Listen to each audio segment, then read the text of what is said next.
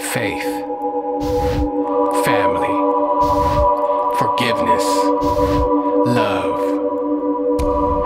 This is a story about music. Can't glorify the Lord with gangster rap. This is a story about friendship. You acting real stupid right now. Dude, you're stupid. Man, you short. Uh, oh, well, have fun breathing in all that LA smog up there.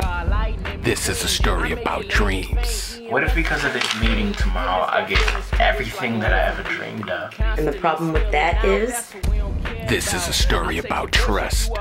Chump. Uh, you can wait if you want.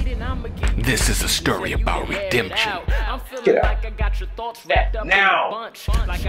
This is a story about hope. The prodigal Song. If the devil offered you everything you ever wanted, what would you choose?